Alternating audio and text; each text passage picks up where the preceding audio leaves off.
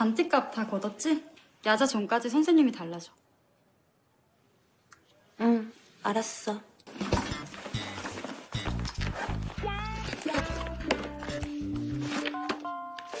뭐야? 어? 어디 갔지? 잘 생각해봐. 다들 국어 수행평가 제출해.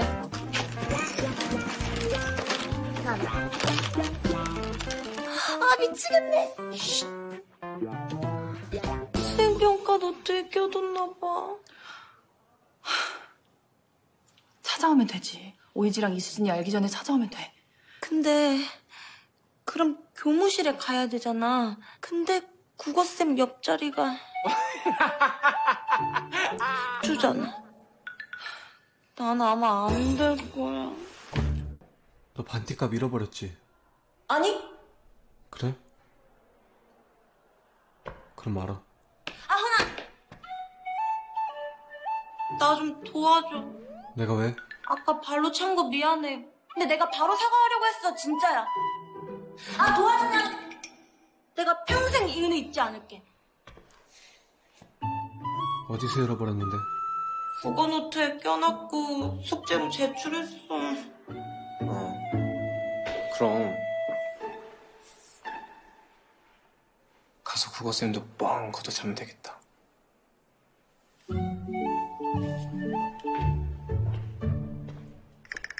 하나, 수고해.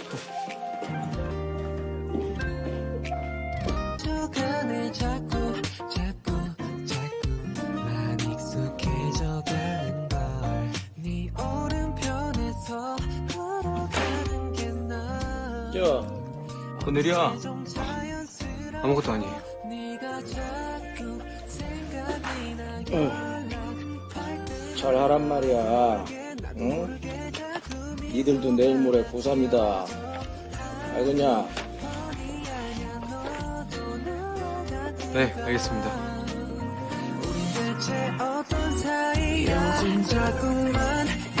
희지야, 반띠값은 다 걷었지? 네.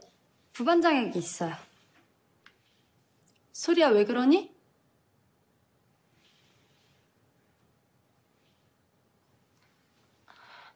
선생님, 그러니까 제가